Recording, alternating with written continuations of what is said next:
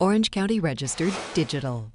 Hello again, everybody. Welcome to OCVarsity.com for our OC Varsity Gridiron Show. I'm Steve Fryer here with Dan Albano and Carlos Arias. We're here at Tesoro High School where the Titans getting ready to play Mission Viejo, huge South Coast League game. We'll have a big segment on that in our OC Varsity Gridiron Extra program. Guys, it's week eight, week nine, week seven. I don't know what that week, Week zero. I can never keep. Week eight. Okay, week eight. I can with that week zero. Why don't they just call week zero week one, since everybody plays, and call week ten week eleven because it is the eleventh week of the season, and, and it'll just stop the confusion to help me out a little These bit. teams are only going to be 10 and 0. Uh, the best you can be, 10 and 0, going into the playoffs. Okay, you're ten and over an eleven week season. There's a bye. Okay, how, how many weeks to play in the NFL?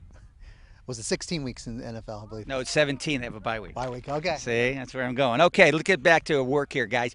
Los Alamitos versus Edison. That's a Sunset League game. Uh, that game's at Huntington Beach High on Thursday. Uh, Los Al picked up uh, a running back that kind of helped them last week against Marina. Am I correct, Mr. Albano?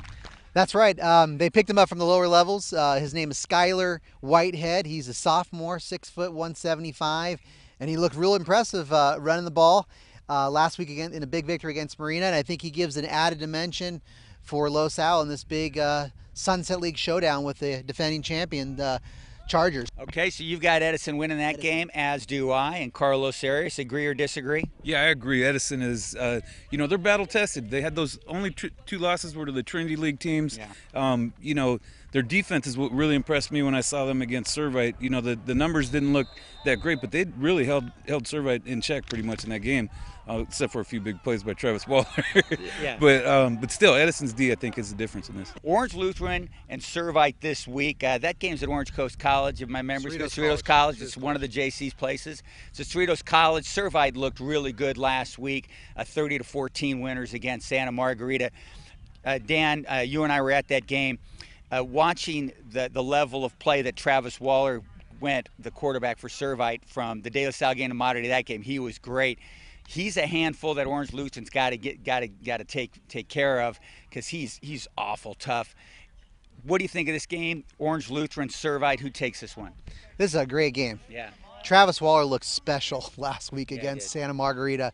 You know, throwing the ball in the first half, you were you were saying that's the best you've seen Waller throw the ball. I think you're right on. And he ran the ball so well when they needed to milk the clock.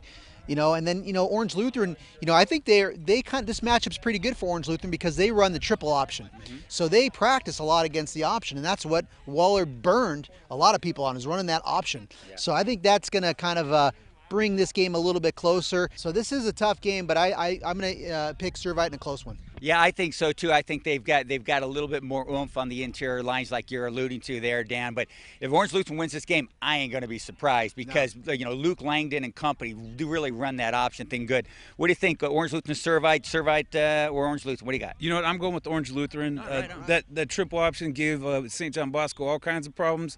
Only problem is Bosco has so many skill position players that you can't stop them all game long. So that's the only reason why they lost to Bosco. I'm taking Orange Lutheran. You know, Carlos, you and I are going to be at kind of a fun game Thursday. We try and move it around and see a lot of different teams play. Calvary Chapel and Laguna Beach. You know, Drake Martinez graduated from Laguna Beach. Everybody thought, you know, maybe Laguna Beach going to fall off the face here. It did not happen. They got another good line, a good running back over there. Yeah, Nate Lancaster is awesome. I, mean, I think he went for 300 yards Yeah. last week.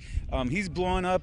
And then on, at Calvary Chapel, they were picked to finish dead last in the Orange Coast League. No way with first-year coach Chris Cox and Danny Matero. The, the quarterback is blowing up. I think he has accounted for like 15 touchdowns in the last three weeks. He's been a Thursday Night Football Madness MVP every, all year long. Boom, he's, it's Calvary Chapel. So that's what's going on. Big week of football here. We just took a look at three games. There's going to be so much more going on. Thank you to our expert producer and director behind the camera, Jonathan Khamis. And thank you for visiting us here at ocvarsity.com, where, We got you covered. thank you. Orange County Register. We are here in the service of Orange County.